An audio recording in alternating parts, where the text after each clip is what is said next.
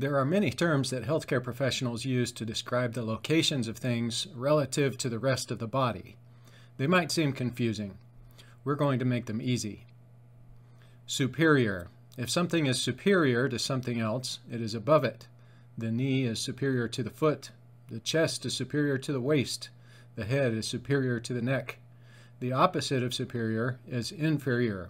The foot is inferior to the knee. The waist is inferior to the chest.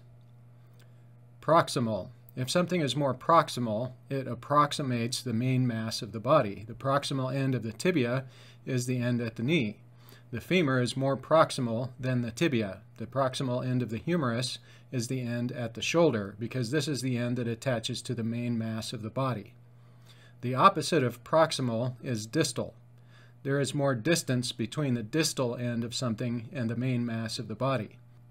The hand is more distal than the elbow. The distal end of the femur ends at the knee. Anterior and posterior refer to the front and the back. The face is on the anterior portion of the head. The buttocks are sometimes referred to as the posterior because they are in the back or behind portion of the body. Medial. If something is medial, it is closer to the middle. The medial end of the clavicle is the end closest to a line drawn down the center of the body. The clavicle is medial to the humerus. The opposite of medial is lateral. The lateral end of the clavicle is the end farthest away from a line drawn down the center of the body. Contralateral. Contra means opposite. If something is on the contralateral side, it is on the opposite side. If I say something contrary to what you said, I'm disagreeing with you and taking the opposite side.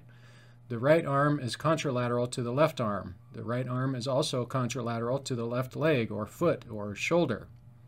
The opposite of contralateral is ipsilateral. The right arm is ipsilateral to the right foot and contralateral to the left foot.